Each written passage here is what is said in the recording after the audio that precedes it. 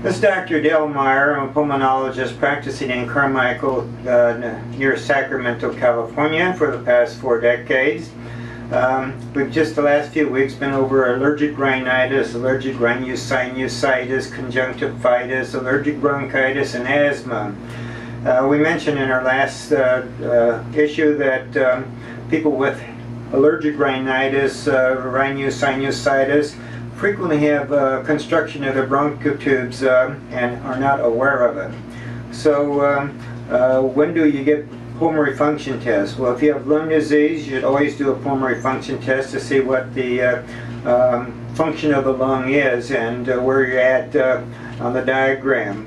Um, so we've been doing pulmonary function tests on people with just hay fever and uh, we found that uh, more than half of them have asthma but uh, weren't aware of that. Uh, also people that have a cough which is a dry cough that frequently is the first sign of asthma and uh, they frequently have a positive pulmonary function test. Uh, to think of it, you have to think of the allergens going into your nose and you may sneeze, runny eyes and all this and goes down into your bronchial tubes and you have allergic bronchitis and as it further goes down then you have allergic asthma. And um, so uh, if you have allergies up here, it's very likely you're going to have them further down. And so that's the reason we screen that because that's when we can do more good uh, for the uh, patient who's developing disease. And that's really the basis for all the allergy asthma screening programs, but many of them have been unsuccessful. The one we did at the university at the Sacramento County Hospital some uh, 40 years ago the patients that came in to be screened were the ones who knew they had disease, so we didn't really pick up a lot of community uh, asthma in that particular case. Okay, uh, this is a, um, a laptop um, um, computer there and is set up for a pulmonary function test. And I just placed the mouthpiece, uh, pulled it out of a sterile thing and put it on the uh, um, monitor here, the um, uh, spirometer. And so um, this is just a quick one breath test that uh, we uh, do. So basically we have to have a sealed system here and so we have to put a pinch on the patient's nose here so he can't breathe. Close him out, there's no air coming through the nose. So the point is we're measuring accurately what's coming out of the lung and, uh, uh and we're also measuring the flow and how fast it comes out. So uh, the uh, we set up the here and get the thing starting to calibrate here and uh, we tell the patient when it starts calibrating, it's completed calibration to put the uh, thing in the mouth and start breathing.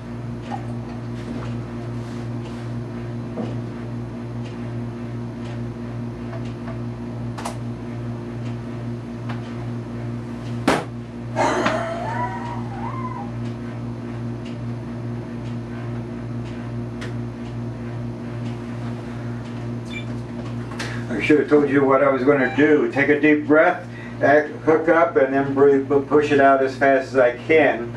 And so we have a curve here that shows the air coming out and this, how fast. It looks like I got a, uh, a volume of about close to 4 liters and a peak flow rate of about uh, 9 liters per second. We'll get the accurate numbers here shortly. And uh, let me save this. And I'm at 83% of normal.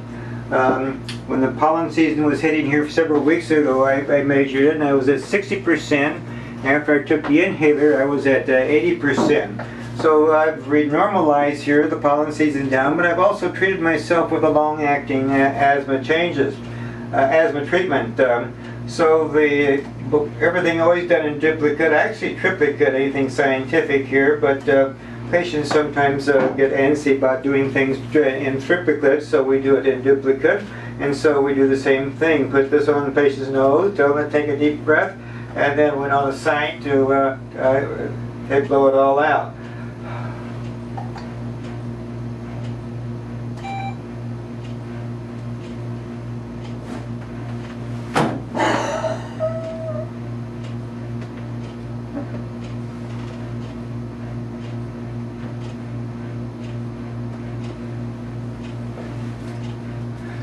So I kept the breathing going there for uh, 10 seconds here.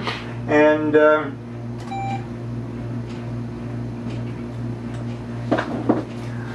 and we have things in duplicate. So um, that's the simple uh, pulmonary function test. Uh, just a one blow and we measure the whole curve and, uh, and get the numbers from that. So uh, let me uh, go ahead and print this out and um, so if we can go over here to the board I can explain exactly what the pulmonary function test is all about. Um, so uh, in this particular case um, um, the vital capacity let's see maybe I can make that a little bit darker here the vital capacity, that's the amount of air from the top all the way down to the bottom. My vital capacity for my age and height should have been 4.9 liters. Okay, and here uh, this is in um, uh, June the 9th, so that's just about uh, six weeks ago. Um, my vital capacity was 3.9, and so that was 80%. And after the bronchodilators, 84%. So the size of my lung at that time was at the lower limits of normal. Now the asthma part of the test, the flow rates, how fast can you make the air flow out? The velocity of air, for my age and height, that should have been 3.1 liters per second, and I came up to 1.97 or 2.0 or 64%. So I was only breathing two-thirds normal, and then after the bronchodilator it went to 82%, which was a 27% improvement. So it's very important for me to um, um, take an inhaler every morning because uh, I'm very low and to get my uh, lungs totally functioning every morning. And I've done that, and obviously I've improved that as we look shortly here. Um, The other thing on a breathing test is uh, checking the oxygen. And this is a very simple thing on a um, oximeter. Uh, just put that over the uh, finger and give it a uh, half a minute or so to uh, register the oxygen in your finger. And that's the other part of a pulmonary function test.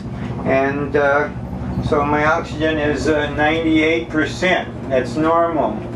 Okay, so my my size of my lung was at the lower limits of normal. I was obstructed, but it was totally reversible, and my oxygen was normal. Okay, let's see what it is today. Um, so looking at it today, my vital capacity it still should be um, uh, 4.9 and I came up to 4.0 and so it's still 82%. So the size of my lung didn't really change, and we wouldn't expect it to change. The flow rates, how fast I could push it out, uh, my normal is still 0.3.1, and I blew it out at 2.5, and so that was 83%. So my baseline is uh, as good as after the bronchodilators was six weeks ago. So I'm pretty well over my asthma at this point, and the long-acting uh, uh, bronchodilators and the uh, steroid inhalers has uh, totally reversed the disease process for now, and I'm back to normal, and my oxygen is 98 today.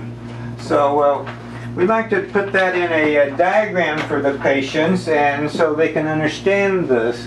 Um, so basically, we uh, look at it this way. Um, you should be at 100% here. 0% of course is kicking the bucket and uh, so where are we on that diagram? So 50% uh, and I was at 64 so that's two-thirds and one-third. So I was sitting at 64% but afterwards it went to 84% normal so I was in this range and uh, this was my low point and my high point was uh, 80%, uh, so I'm in the normal range. So uh, my asthma that I had since childhood is under excellent control. But you can see very quickly here that uh, uh, the patient I told you yesterday I saw this week here, she was at 30% here and didn't think she had asthma. And most people don't get symptoms till they get down to, uh, this is 66 here, this is 50, and until they get down to about a third normal, and some even less than that. And smokers especially, they think that, um, you know, it's just a cigarette cough, it's nothing significant, and uh, they're sometimes very low. And sometimes have patients come in here, they're down to 10% or 7% on their first uh, check here, and they've never been uh, tested before. So um, it's very important to look at the overall picture of your lungs and uh, where you stand and what needs to be done. Uh, this is very important in the treatment of patients because they understand exactly where they are. I see patients in my chair here that gasp when they see this, you know. Oh, I didn't know it was that bad. And you can talk to them about a pulmonary cripple, and it's a miserable way of dying, and you can change behavior very quickly. I don't see very many people smoking uh, after I check them out and show them what they are in terms of life and death because that's something basically everybody can understand. So uh, that's our uh, information for today. And we thank you for listening and we'll be back with you next week.